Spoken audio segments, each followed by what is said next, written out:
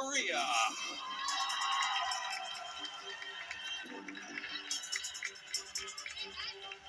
Hi, Korea.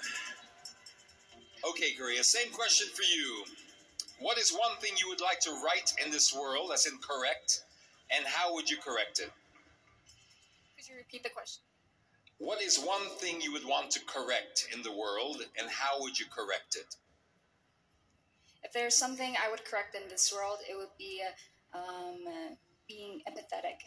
We often mistake kindness as being empathetic, but what being empathetic is really putting yourself in someone else's shoes. And when it comes to climate issues and other issues in this world, one has to be empathetic. You need to really see how the other person perceives this world. You need to understand their pain by being in their in their shoes, and that I feel like differs from being empathetic. Kindness and empathetic can be different, and if I get the chance to really define it differently, that's how I would define it.